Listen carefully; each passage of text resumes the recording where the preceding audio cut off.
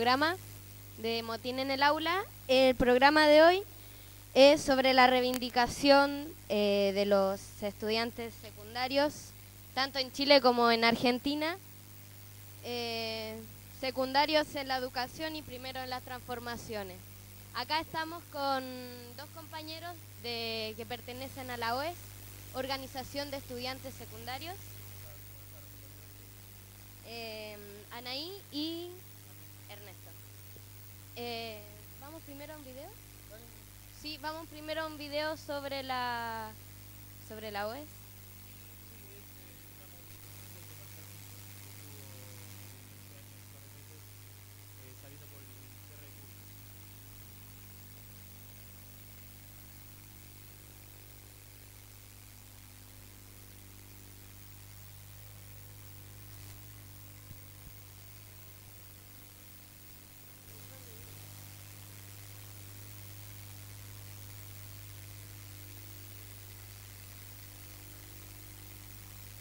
Ameritaba así, que tomemos algo extremo, porque la decisión que ellos tomaron en caso de nosotros es extrema. Que nuestro colegio no cuenta con el espacio suficiente como para tener un curso de 30 y No pico de personas. solos. Un curso de 30 y pico de personas.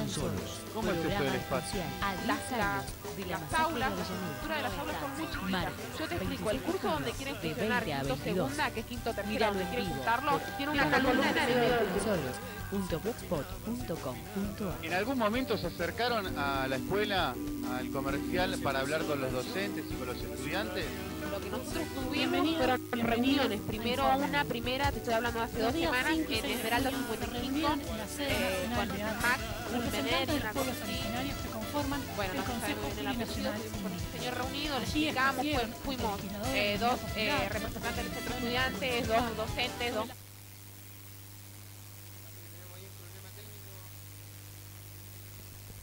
Tenemos un problema técnico con el tema del video porque estaba la lista de reproducción. Bueno, eh, no, más que nada, la idea del, programa de hoy es discutir que, que- que hoy día lo- los, secundarios son un actor fundamental a, la hora de discutir lo que es la, política educacional.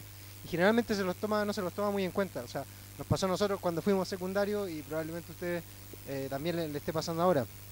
Eh, y bueno, ver el tema también de, la situación que está viviendo Chile respecto a la ACE y cómo los compañeros, después de un largo proceso que tiene que ver con la llegada de la democracia, esta supuesta democracia, eh, empieza a desarrollarse eh, todo un, conflicto en la sociedad chilena. Que, por ejemplo, explota en el 95, que también tenemos una entrevista con, un ex vocero la ACE que nos explica un poco eso. Un. Explota en el 95, después en el 2001 hay un mochilazo, 2005, 2006 se, se empieza a desarrollar todo un proceso de democratización del, del movimiento estudiantil. En ese sentido, eh, como para empezar la discusión, ¿cómo ustedes ven la, situación, el contexto actual de, de, de los secundarios acá en Argentina y como en realidad ver el panorama que, lo- los convoca hoy día? Eh, quizás este año específicamente nosotros arrancamos eh, con medidas bastante fuertes por parte del gobierno en el sentido de, de privatizar a la escuela pública. Eh, ya desde finales del año pasado, eh, con el tema de las juntas docentes que eliminó el gobierno, que era la instancia de participación que tenían los trabajadores, o sea, lo- los docentes a la hora de designar cargos en las escuelas, eh, el gobierno coartó esa posibilidad.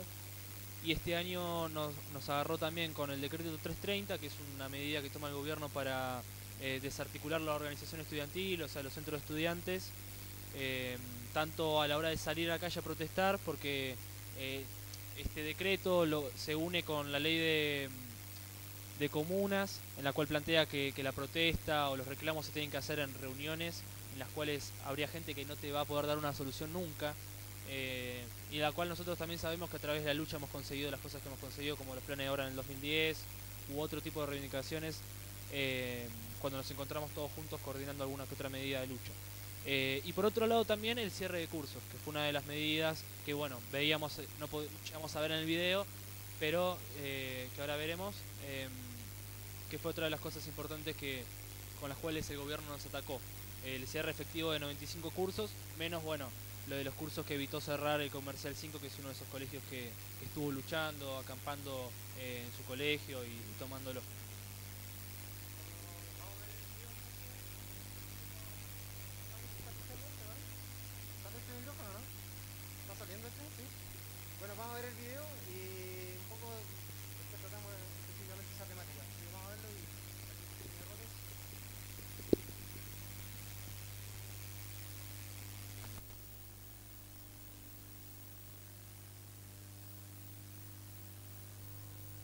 Yo soy Luciana eh, Gómez, formo parte del Centro Estudiante del Comercial 5. Centro Estudiante del Comercial 5 es una medida de fuerza, creo que es extrema eh, de parte nuestra, obviamente, pero la situación la meritaba así, que tomemos algo extremo, porque la decisión que ellos tomaron en caso de nosotros es extrema. Que nuestro colegio no cuenta con el espacio suficiente como para tener un curso de 30 y pico de personas, curso de 30 y pico de personas. ¿Cómo es esto del espacio? Las, las, las aulas, las estructuras de las aulas son muy chiquitas. Yo te explico, el curso donde quieren fusionar quinto segunda, que es quinto tercera, donde quieren juntarlo, tiene una, columna, en el medio del curso. ¿En algún momento se acercaron a la escuela, al comercial, para hablar con los docentes y con los estudiantes? Lo que nosotros tuvimos fueron reuniones. Primero una primera, te estoy hablando de hace dos semanas, en Esmeralda 55, eh, con Max Gulmener y una cosa así. Bueno, no me sale muy bien el apellido, estuvimos con este señor reunido, le explicamos, fuimos eh, dos eh, representantes del centro estudiantes, dos docentes, dos madres y las autoridades del colegio.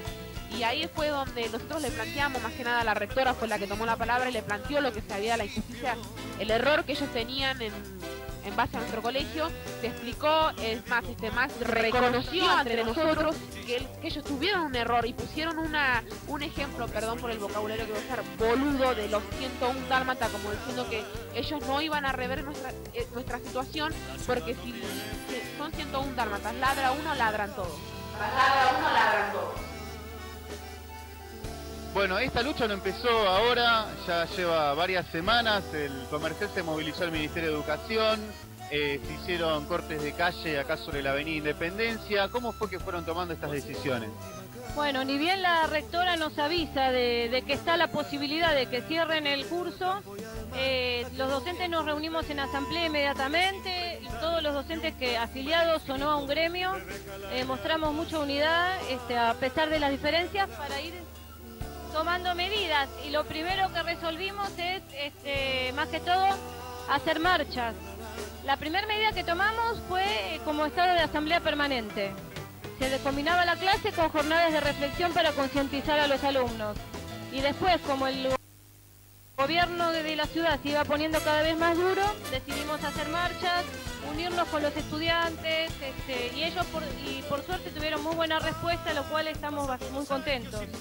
Fusionando este quinto, el mismo gobierno de la ciudad no cumple con un decreto que implica que no pueda haber tanta cantidad de alumnos por metro cuadrado.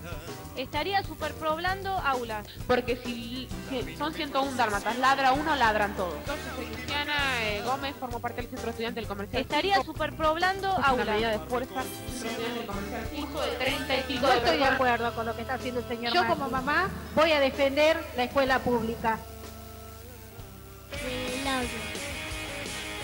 Escuela pública. Seguimos los Ahí volvemos.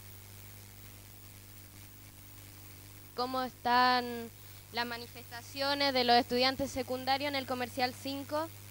Y nada, es por los cierres de curso. Entonces, a ver si nos explican cómo está funcionando esto, cómo se está manifestando. Con respecto al cierre de cursos, eh, el video de recién era del Comercial 5, que es un colegio que, que tuvo muchos problemas con respecto a esto hace un mes más o menos.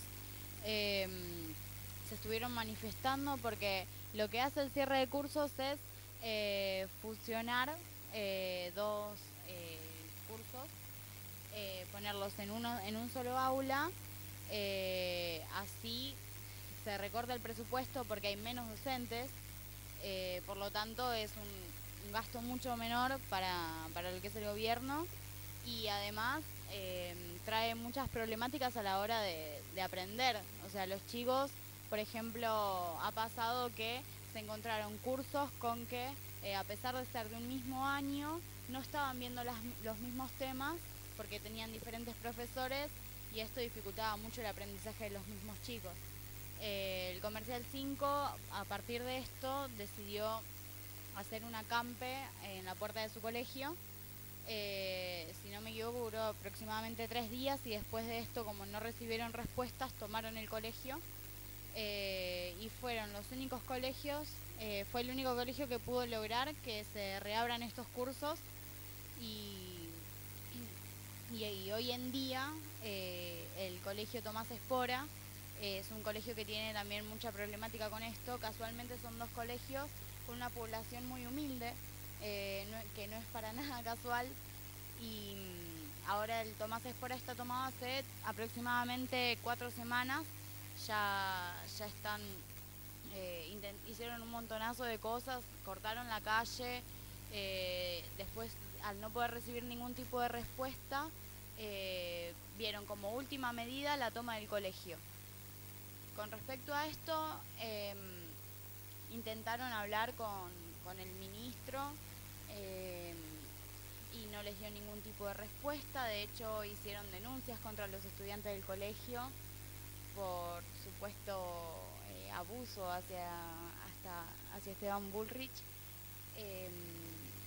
Nada, realmente es, es algo muy importante a remarcar porque demuestra cómo, cómo quieren inculpar a los chicos de hacer cosas que, que realmente no son y sacarse y lavarse las manos del problema y correr el eje de la discusión. Em.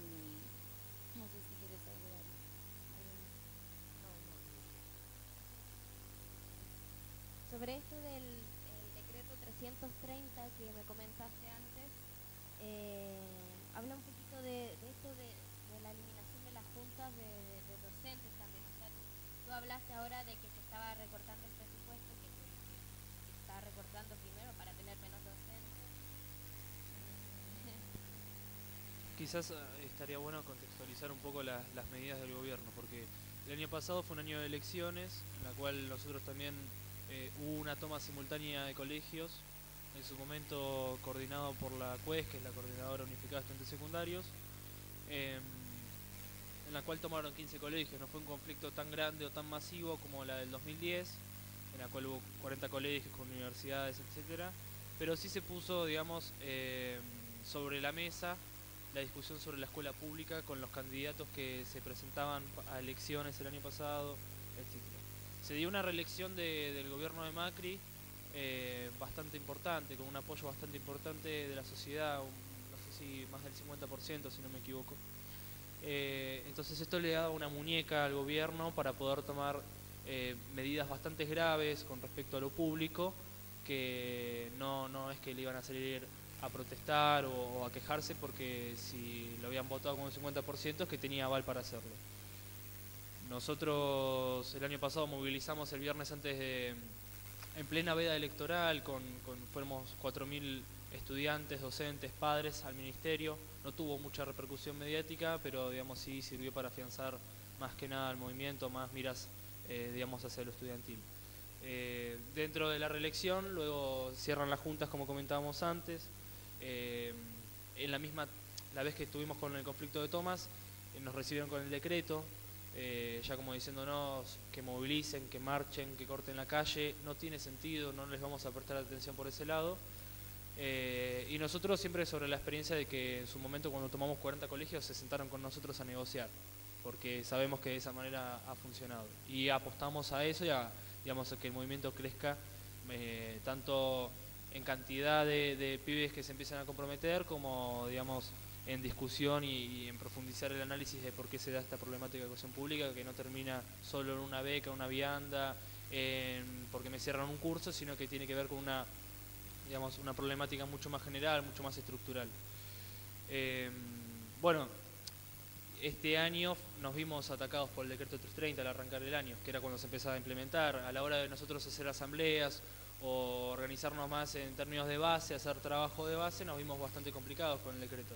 Porque además nos agarra medio desarticulados, porque la coordinadora no estuvo funcionando como en su momento, porque también hemos tenido eh, reacomodamiento y discusiones internas, digamos, que lamentablemente hemos visto mezquindades por parte de ciertas agrupaciones y digamos cosas que no, no han beneficiado al movimiento estudiantil y a la hora de quizás de mantener la unidad, el tema del decreto fue una cosa en la que sí nos encontró todos juntos, en el hecho de no acoplarnos al decreto, por ejemplo, sino que luchar por su derogación, etcétera. A partir de eso pudimos conseguir reuniones, eh, digamos, mediante las, las movilizaciones, los cortes de calle, y el gobierno supuestamente va a modificarlo, por lo menos en la situación interna de los colegios, al hecho de poder hacer una asamblea, porque el decreto planteaba que había una cada tres meses o solamente para las elecciones, que las asambleas también eran solamente delegados, o sea que no eran asambleas, no eran asambleas de base, de, participación, eh, digamos, democrática, en la cual puede tener cualquiera la palabra y el voto. Eh, pero bueno, eh, quizás eso sí fue un avance, pero nos agarró bastante desarticulados también al movimiento secundario de, Capital, por lo menos. Claro, igual es interesante el tema de que los tipos te están diciendo cómo es la democracia, cómo hay que hacer la, asamblea, cómo hay y aparte te están diciendo, bueno, la asamblea no se hace todos los días o cuando sea necesario, sino que se hace cuando ellos te digan. Eh, respecto a eso, yo te iba a preguntar, por ejemplo, en el caso de ustedes que son de la OES, eh, ¿por qué surge esta organización? Eh, hoy día, ¿en qué, ¿en qué está la situación de la, de la CUES? Y bueno, un poco ver el panorama de, los secundarios, en función de, se están, se viene, viene todo este tema de la, del vaciamiento a la educación, que me, llama un poco como el tema, la flexibilización laboral, pero esto es una flexibilización, flexibilización dentro de la, de la educación. Si me puedes, nos pueden contar un poco cómo está la situación del, tema de los secundarios. Em, quizás el movimiento secundario es una cuestión eh, bastante prematura dentro de todo, no es un movimiento que tenga muchos, muchos años. Eh, aproximadamente cuatro años hace que tiene la coordinadora porque o 2009. Eh, Desde el 2009 existe la CUES como Coordinadora Unificada de Estudiantes Secundarios. Eh, surgió a partir de haber roto con la CES, que era la Coordinadora de Estudiantes Secundarios, que en general eran reuniones de activistas en las cuales había una hegemonía específicamente del Partido Obrero, em, en la cual digamos, no había una real participación de las bases de los colegios, o sea, de las mayorías de los estudiantes a la hora de tomar una decisión, sino de pequeñas minorías. Frente a eso, también hubo un gran grupo de, pibes independientes en general, que luego también forman parte de lo que es la OES, que al principio quizás es una cosa mucho más heterogénea y grande, eh, que ve la necesidad de que exista una herramienta de coordinación para, los estudiantes. Se termina forjando en el 2009 porque es en el medio de las, eh, del conflicto de la lucha por las becas que se termina consiguiendo la, la mitad. Digamos, el gobierno había recortado 30.000 becas, si no me equivoco, y terminamos consiguiendo 15.000 de esas, de esas becas, que hubo toma de colegios en ese momento, etcétera. Eh, nuestros colegios particularmente, como son el Julio Cortázar o el Fernando Fader, son colegios que en su momento participaron de esas reivindicaciones, de esas medidas de lucha, de la conformación de la CUES. Entonces, digamos, es historia que nosotros hemos vivido y que nuestros compañeros también. Frente a eso, el, digamos es el 2009, fue un año en el cual nos encontró laburando, estructurando más a lo que, es lo que fue la CUES, em, digamos, organizando regionales, lo que nosotros llamamos zonales, em, las cuales han fortalecido los centros estudiantes más que nada internamente, con actividades, qué sé yo, como puede ser desde un ciclo de cine o, un taller de, de lo que sea, no sé, un torneo de fútbol, un torneo de truco, lo, que sirva para que los estudiantes empiecen a comprometerse un poco. En el fondo es generar el lazo también para, futuras luchas. Que... Exactamente, y también eh, relacionarlos a otros colegios, que ahí tiene que ver el hecho de la importancia de la unidad y la coordinación. Eh, y bueno, después en el 2010, quizás que fue el auge más importante que tuvo el movimiento secundario, por lo menos de lo que nosotros eh, caracterizamos o conocemos, de los últimos 15 años, 20 años más o menos, Em, en la cual también nos encontró a la hora de salir a la calle con universidades, porque hubo un conflicto en la, en las universidades sociales, en la cual se cayó un techo y eso también generó eh, una discusión bastante importante de cómo estaban las universidades, que no dependen del gobierno nacional, que dependen del gobierno nacional, o sea que se avanzaba un poco más en la discusión de que no era una cuestión específicamente de capital, sino que era una cuestión mucho más estructural y a rasgos generales más allá de los matices que hay entre el gobierno nacional y el gobierno de ciudad. Y por eso tomamos 30 eh, colegios y 4 universidades, no, recuerdo bien el número, pero fue una toma bastante, bastante masiva, eh, que confluyó todo en el 16 de septiembre, recordando a los estudiantes de La Plata que fueron desaparecidos, eh, en una movilización también muy masiva o de las más masivas que hubo en los últimos años. Yo le quería preguntar una particularidad. Por ejemplo, generalmente el, tema de la infraestructura pasa a ser algo eh, a veces coyuntural, decir, bueno, se cayó un, no sé, un techo, claro, eh, o los baños están como la mierda y bueno, hay que arreglarlo. Pero si se han surgido discusiones respecto a la educación que, hoy día se está dando en los colegios acá en Argentina, eh, en función de, discutir desde la base de los mismos estudiantes eh, si hay disconformidad o si se está planteando un, nuevo modelo de, de- de educación. Eso es muy interesante porque eh, quizás fueron en creciente la- las reivindicaciones en, términos de lo, lo aguda que atacan digamos a la educación porque quizás vos partís de algo como puede ser básico por así decirlo como una beca una vianda eh, a una cuestión más estructural como puede ser un edificio y hoy en día lo que estamos discutiendo como reivindicación quizás es la reforma de las currículas de las escuelas técnicas. El FADER es una escuela técnica de diseño es eh, por una cuestión es bastante particular porque es única en Latinoamérica en las especialidades que tiene. Y eso la aísla bastante al momento de que le reformen las currículas. ¿Qué, qué especialidad en particular? tiene eh, tres especialidades de tres orientaciones digamos después del ciclo superior. De- de- tiene seis años de cuarto a sexto año tenés la orientación del colegio que es publicidad diseño de interiores o artesanías aplicadas. Tiene esas tres orientaciones. Eh, hay otros colegios de publicidad, pero no hay otros colegios de diseño interiores, no hay otros colegios de artesanías aplicadas. Eh, esto tiene que ver con una ley que es a nivel nacional que, que homologa los títulos de las escuelas técnicas.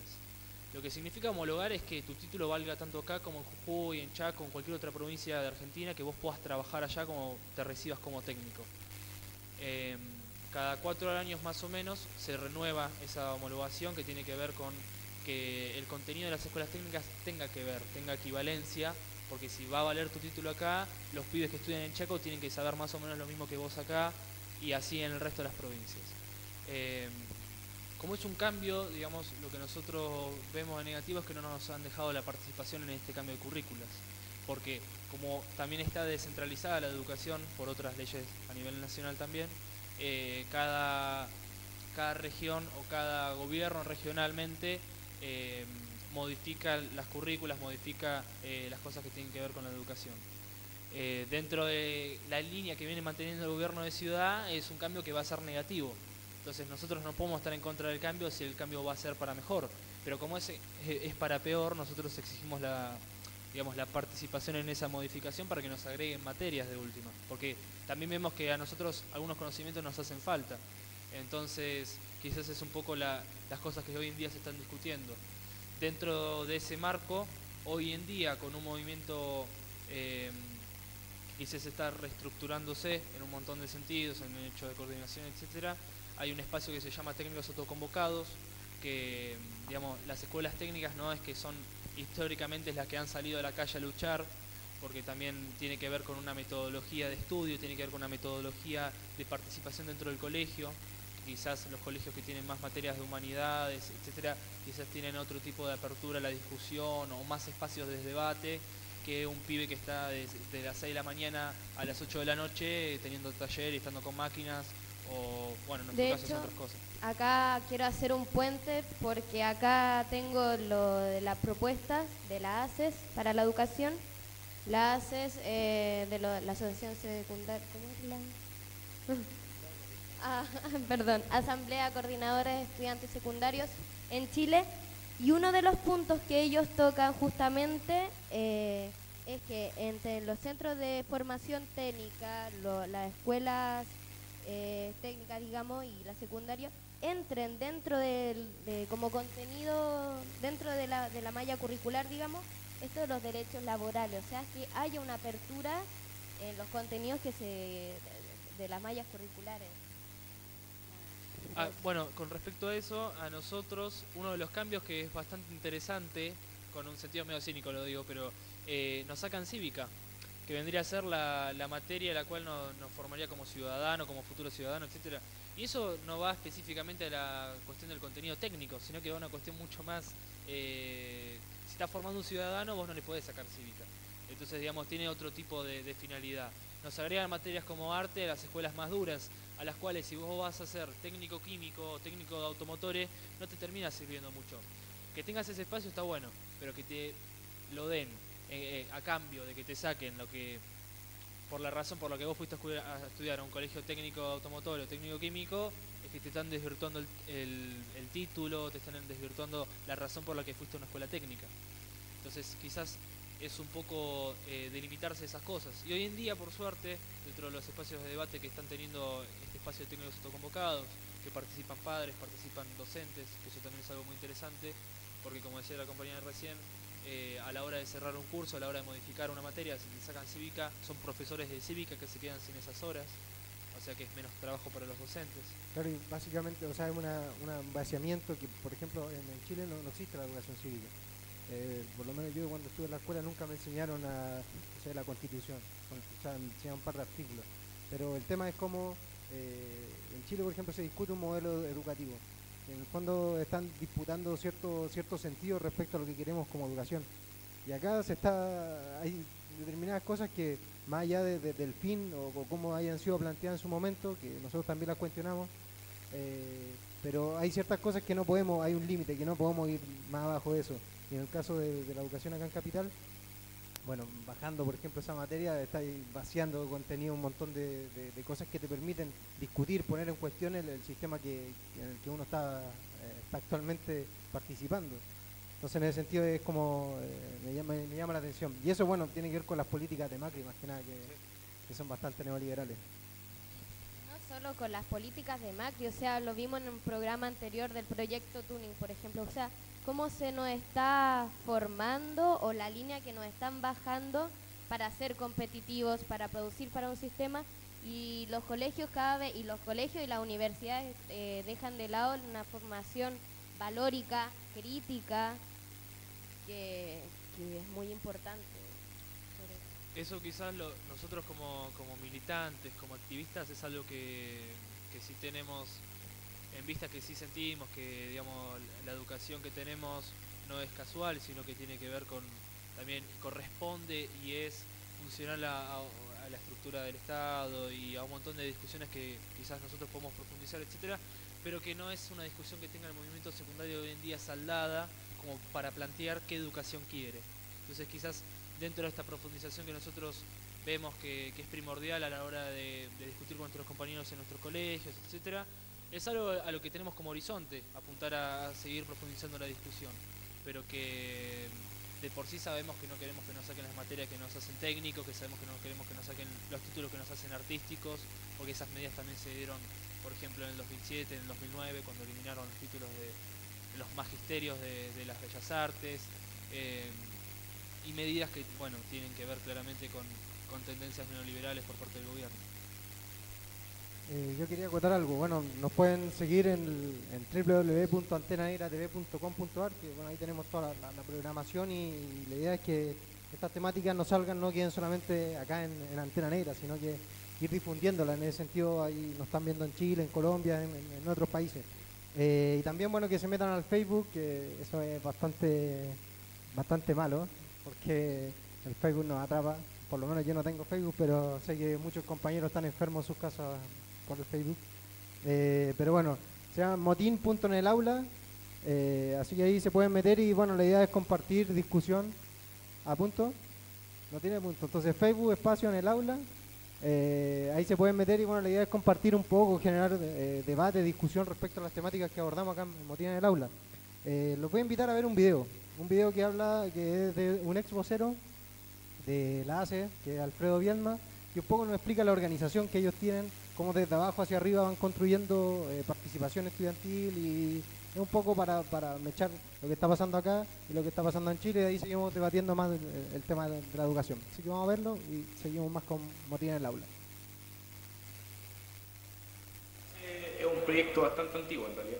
Eh, este proyecto nace en el año 2002 y bueno, con el mochilazo y nosotros decidimos retomarlo el año pasado, el año 2010. Eh, bueno, pues partimos básicamente con tres liceos eh, el Liceo de Jaime Buñamaquén, el Liceo eh, y el Liceo Confederación Suiza. Y hoy nos ampliamos, eh, hemos, hemos, ampliado la orgánica a nivel nacional. Hoy en la región metropolitana estamos agrupando a 110 liceos y a nivel nacional tenemos un catastro de que aproximadamente agrupamos a 350 o 400, 400 liceos. La facción de los estudiantes más que nada más rebeldes, de los estudiantes eh, bueno, que con, con diferentes factores, los estudiantes principalmente que están concentrados en los liceos de periferia, en los liceos de la zona sur, en los liceos de comunas como Pedro y la Cerda, La Granja, La Cisterna, en la zona norte el caso de Independencia, eh, Recoleta y así otras comunas que en realidad son las comunas más marginadas por, esta, por este sistema educacional. Y, bueno, dejando de lado un poco la lógica centrista de, poder agrupar más que nada los colegios emblemáticos, nosotros preferimos agrupar antes a la fuerza de la periferia que, que es mucho más válida en este caso que, que la fuerza de un liceo emblemático que, bueno, que tiene condiciones óptimas. Bueno, eh, la ACE eh, es fruto de, organización y de acción directa de, que viene sosteniéndose desde hace mucho tiempo ya. Eh, las luchas estudiantiles desde, desde el año 95, que fueron las primeras luchas luego de que volviera la democracia, luego de que terminara la dictadura, en que los estudiantes sostenían cierta esperanza para con un gobierno que, que no, no, fue nada más que, que terminó de, de, sentar los últimos detalles de, este sistema que dejó la dictadura. Nos sentimos, si bien herederos de, este, estos, antiguos movimientos estudiantiles, recogimos antiguos ejemplos y, tratamos de perfeccionar ciertas cosas. Los movimientos estudiantiles anteriores, como son por ejemplo los, los, movimientos estudiantiles del año 99 hasta el 2006, eh, fueron ricos en intervención política, en intervención de los partidos políticos tradicionales y nosotros hoy rechazamos esa lógica la lógica de la política tradicional, sostenemos la, creación de política desde el pueblo, la creación de una política popular, la creación de, espacios de, opinión y, de, participación de la juventud revolucionaria hoy, hoy en Chile. Y la experiencia que, queremos rescatar es que nosotros eh, creemos que es importante la organización tal como lo fue en el año 2002, el año 2006, pero también es importante aprender de las experiencias pasadas, como son por ejemplo la intervención de partidos políticos tradicionales, que fueron la principal causa de, que el movimiento estudiantil del 2006 no consiguiera ningún fruto y también que fueron la principal causa desde que volvió la, democracia, que se formaran estos parlamentos juveniles en donde la, militancia política era casi, casi abierta. Nosotros no rechazamos la militancia política, pero sí rechazamos la intervención de partidos tradicionales dentro de nuestra asamblea. Eh, hoy hemos visto cómo la burocracia ha tratado de sostener más de cuatro veces intentos por intervenir mediar por el conflicto estudiantil, un conflicto sentado desde las bases, que nosotros no vamos a rechazar, o sea, no vamos a permitir que, se dé eh, la intervención de partidos tradicionales o de cúmulas partidarias, cúmulas partidistas, para que eh, este problema sea solucionado por ellos mismos. El problema lo, eh, el problema lo sentimos nosotros y el problema lo vamos a solucionar nosotros mismos. No necesitamos la ayuda de los políticos tradicionales porque somos nosotros los que sufrimos las condiciones paupérrimas. Nosotros conocemos las soluciones que tenemos que darle. Bueno, ahí estábamos en la entrevista, esta pequeña entrevista que hizo eh, Cristian, un compañero de Chile, que, nos facilitó este material. Eh, bueno, les recordamos que estamos en www.antenanegratv.com.ar, nos pueden ver ahí. Eh, y aparte en el Facebook, que es de la Asamblea, que una compañera fuera de cámara me decía, o sea, este programa surge de, la Asamblea de, de chilenos, pero se amplía, o sea, somos compañeros colombianos, eh, ecuatorianos, que entendemos que eh, somos todos exiliados por la educación, por el hecho de, emigrar de un país por, este, este, hecho fundamental de, venir a educarnos, supuestamente también. La educación no es necesariamente en, el ámbito académico. Bueno, se nos sumó Pato también, compañero panelista estrella y permanente, eh, que vamos a estar un poco hablando a propósito de la situación de Chile ir viendo cómo, cómo el movimiento estudiantil en el fondo eh, tiene sus procesos, eh, de repente son, son lentos, pero hay una formación detrás en, esa lentitud, en los procesos como de paz que se le llama, que son para educarse. Y, en algún momento surgen eh, esto como atómico que hace que la gente salga, por ejemplo, en Chile, a mí yo estoy en lo personalmente como eh, pasmado. De repente me, me, sorprende que de un momento a otro, o sea, se dio de un momento un, movimiento solapado en la sociedad que era más democrático de, discutir, pero que llegó un momento y explotó y salimos toda la calle. O sea, la semana pasada hubiera una movilización y, estuvo bastante buena, bastante masiva. Eh, y bueno, para acotar una cosa, me va a estar saliendo un poco el tema del programa, pero eh, salió un documento eh, la noche anterior a la movilización y en ese documento eh, la policía chilena eh, planteaba distintas, distintos puntos, eh, como por ejemplo ir a atacar farmacias, ir a atacar distintos focos que son conflictivos en una movilización. Y la policía infiltrada fue atacar para, obviamente, generar toda una, discursividad del tema de la violencia, que obviamente en una, manifestación va a haber violencia y, es un fenómeno que, no lo podemos negar. pero bueno, acotando al tema de, la movilización. Eh, no sean ahí si cómo ve el tema de, este año. eh, hay vaciamiento de la educación, sabemos que la escuela de alguna manera eh, también puede ser una punta inicial también para las universidades, que hay también un proceso de acreditación, pero ¿cómo ve el tema de este año específicamente?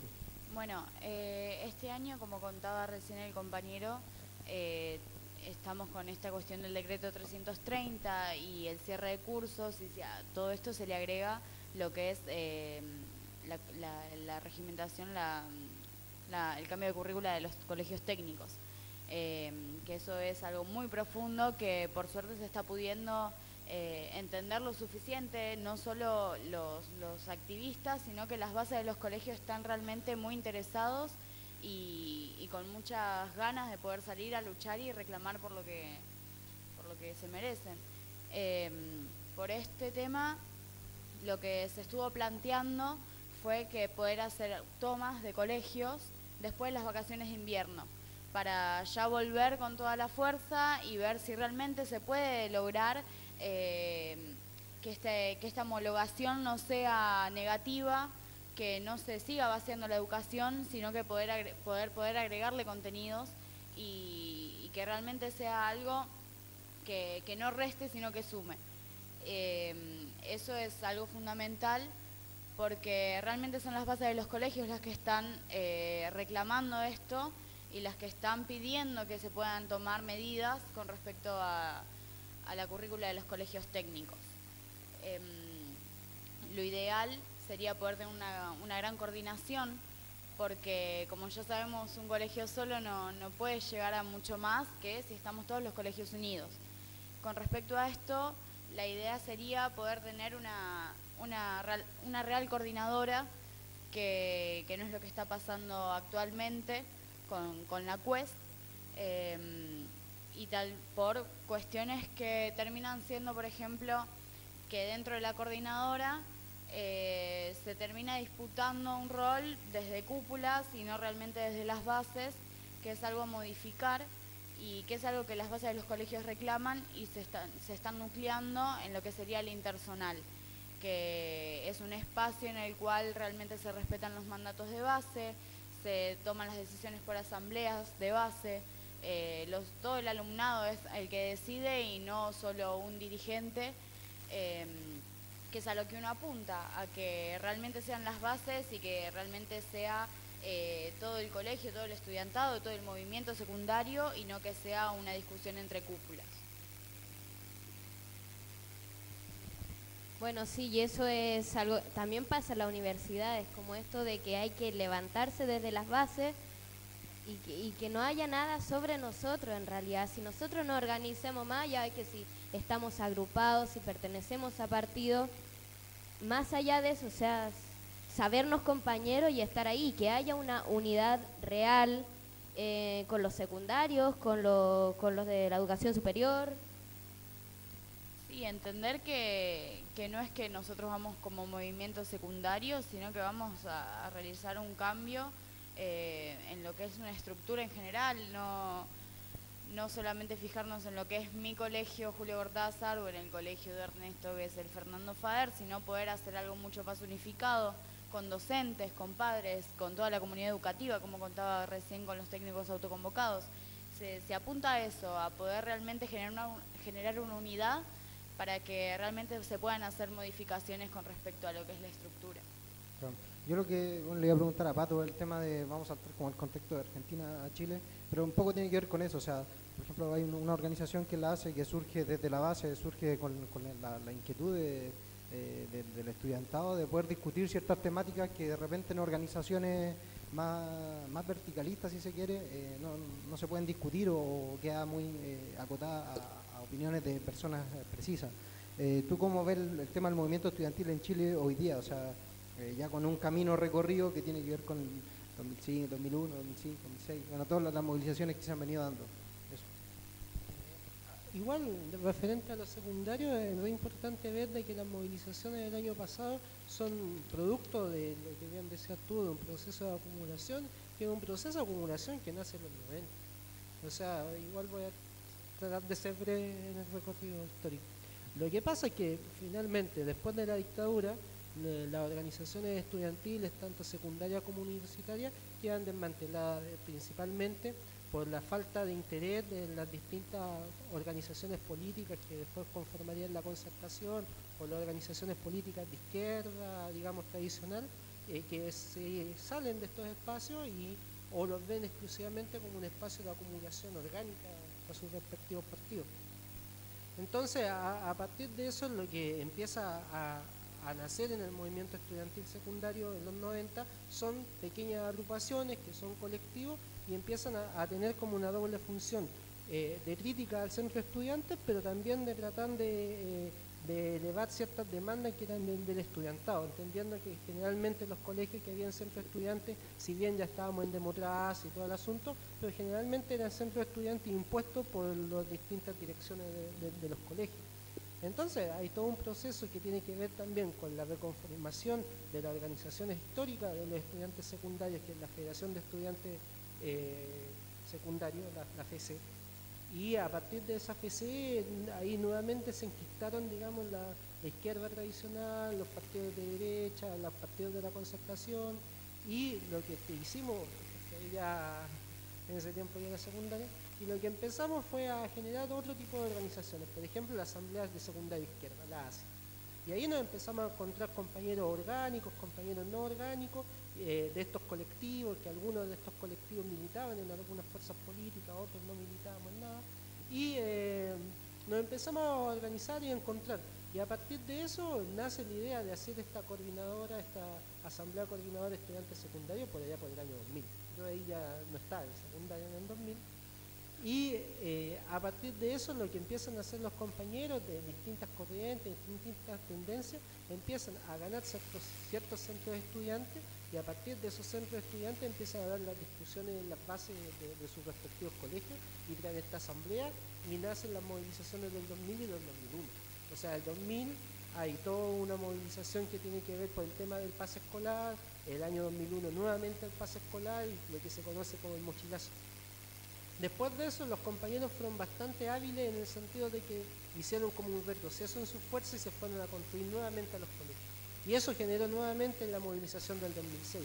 O sea, hay entre el 2001 y el 2006 hay cinco años en que estos compañeros de estas distintas organizaciones, que eran organizaciones de base, siendo muy pocos, se empezaron a juntar nuevamente, se empezaron a organizar nuevamente en el territorio y pudieron levantar las movilizaciones del 2006. Lo que pasa es que el año 2006 y, esto es una cosa para discutirlo no acá, pero es como el balance. Lo que pasa es que en 2006 la organización estudiantil secundaria se empezó a constituir como movimiento social. Empezaron a tener demandas comunes los distintos estudiantes de Chile, principalmente en Santiago, pero luego de todo Chile.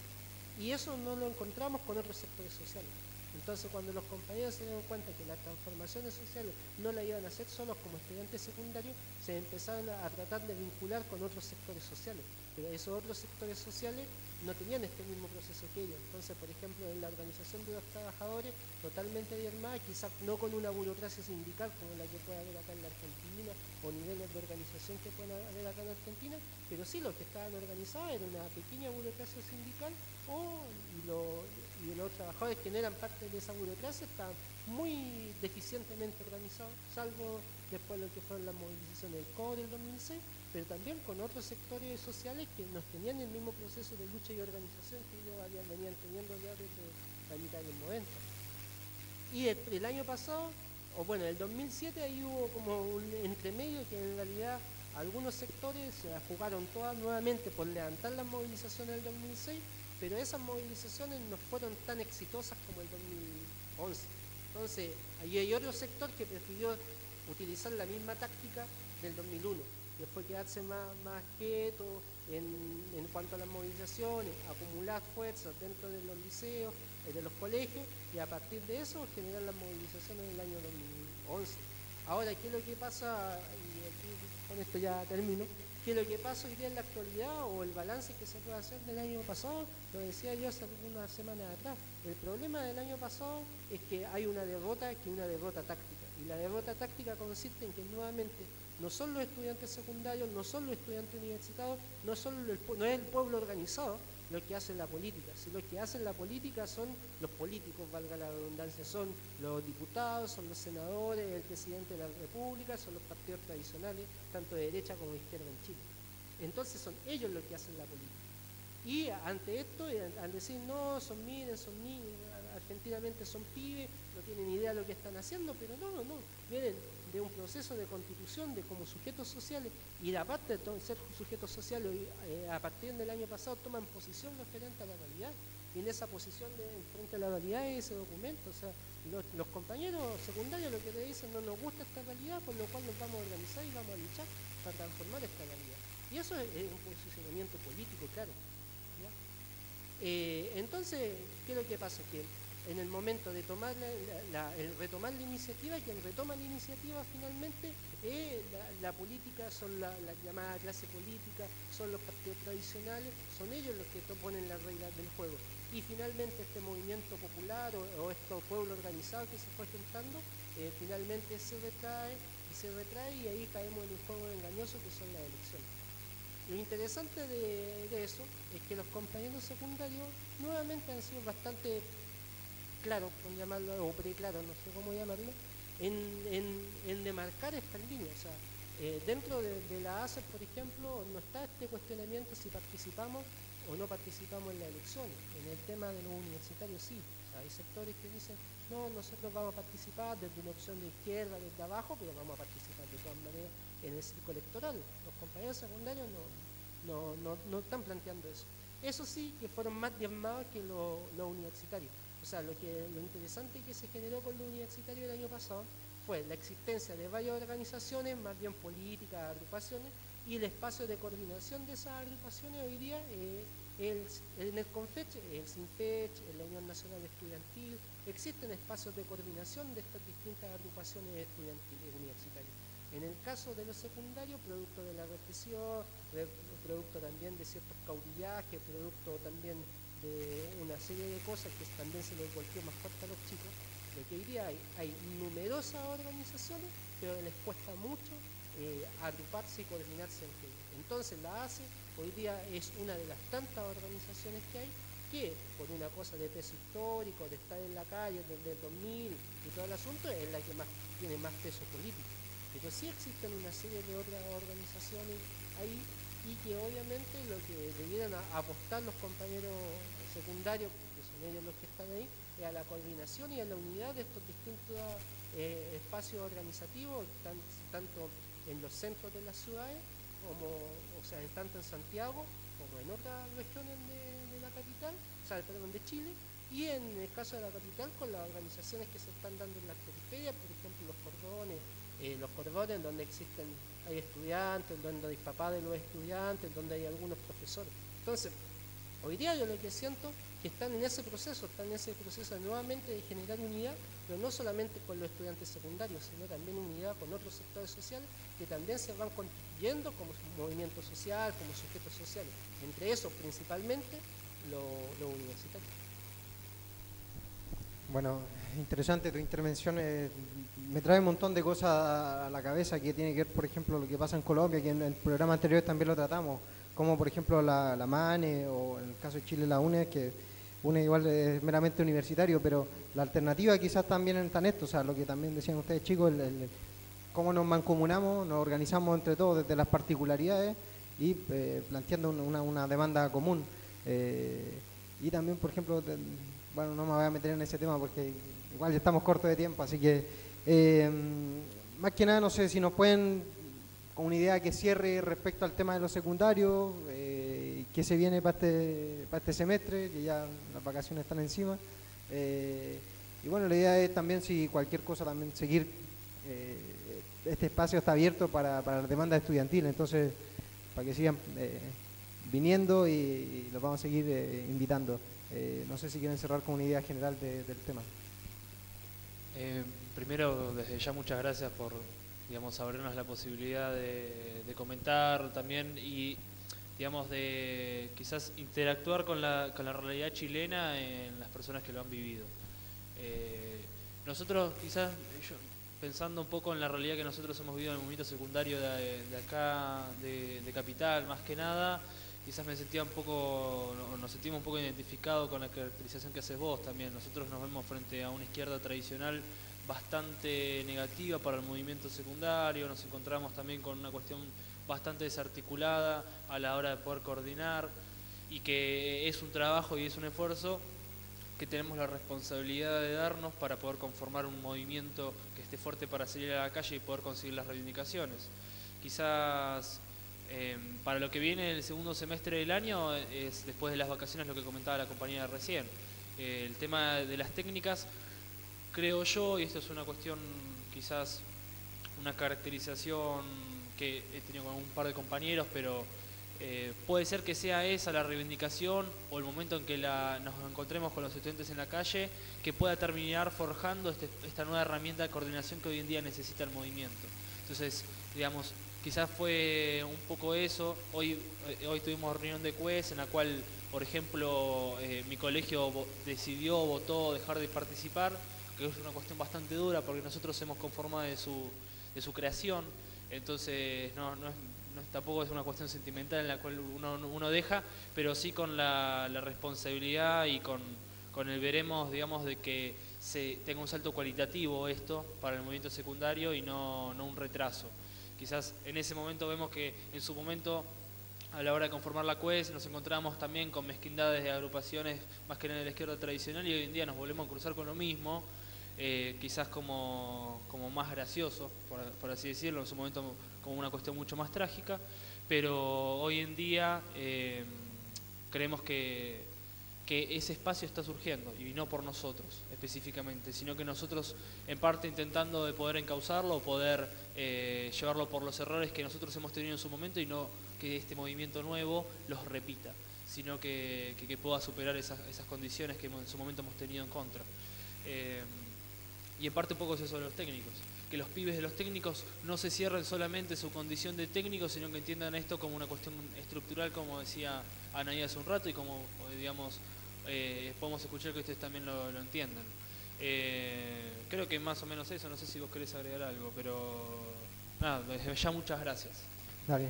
Sí, o sea, la idea es, es ir profundizando estas temáticas, eh, porque obviamente no, no- termina acá el, el tema de la, de la lucha estudiantil, tiene que ir con lo secundario, por ejemplo, recién hablábamos, teníamos una asamblea y que eh, se, estábamos planteando, bueno, nosotros la mayoría somos universitarios, pero y estábamos discutiendo algo con los secundarios y decíamos, bueno, ¿cuál es la relación?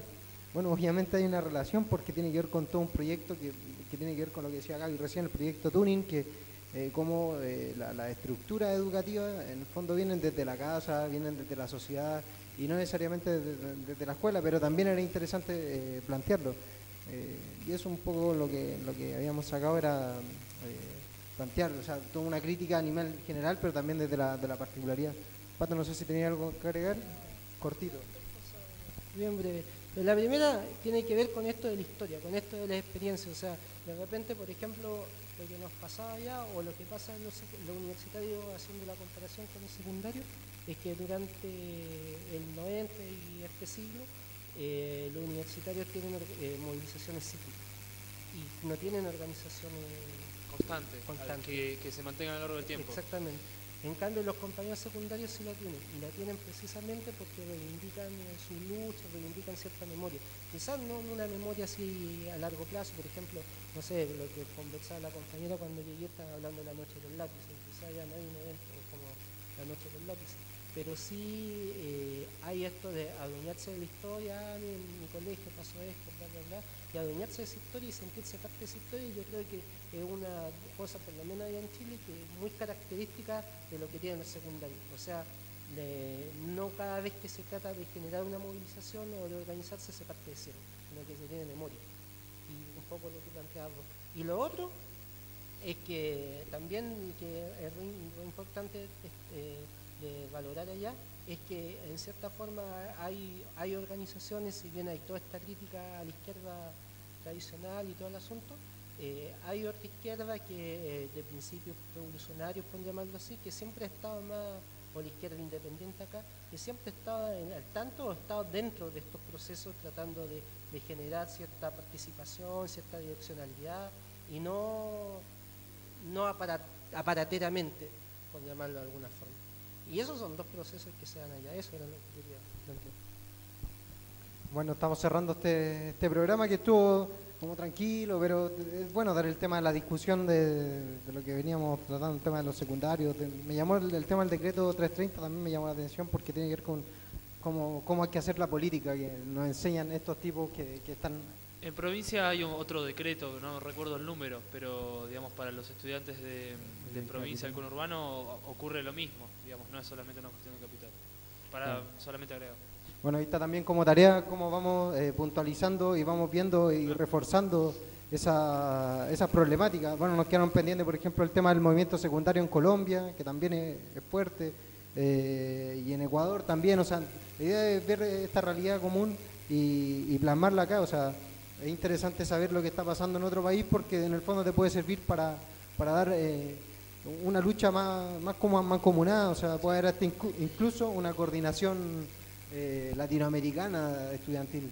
Lo, hemos tenido, nosotros hemos dado charlas, debate, por ejemplo, en el FADER acerca de, eh, específicamente el año pasado, otro proceso que han tenido, que han acumulado, digamos, hemos podido charlar acerca de las movilizaciones. Quizás no manejamos en nuestro movimiento la, la cuantitatividad y quizás la- el nivel de, de- de discusión que tienen a veces, pero por suerte hemos coordinado cosas. El año pasado hemos movilizado a la embajada, eh, digamos, se han dado coordinaciones en los hechos, eh, más que nada en la praxis, que quizás es lo, que prevalece al final de todo, ¿no? Claro. Bueno, así que le damos las gracias eh, por haber participado y habernos eh, visto a través de, de www.antenanegratv.com.ar eh, y bueno, más que nada seguir la discusión.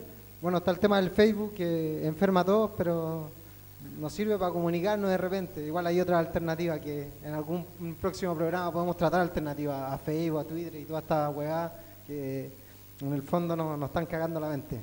Eh, eso es por, por modo personal.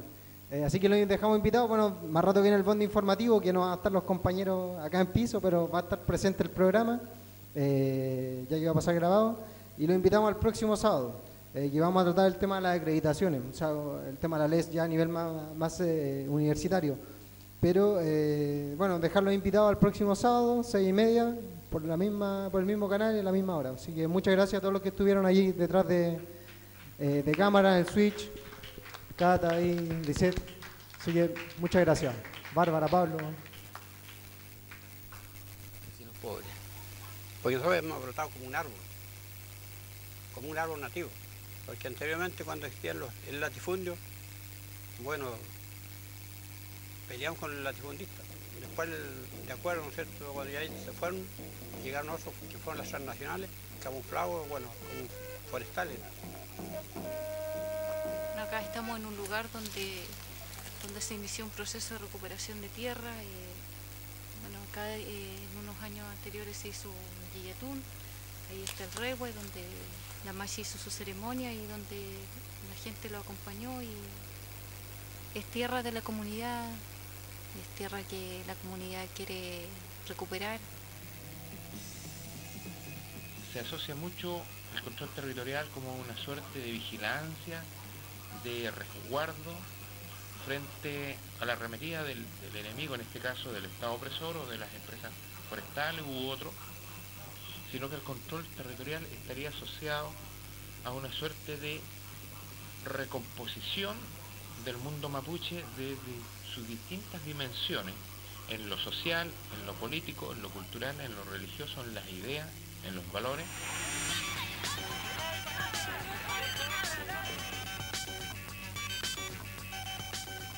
El problema del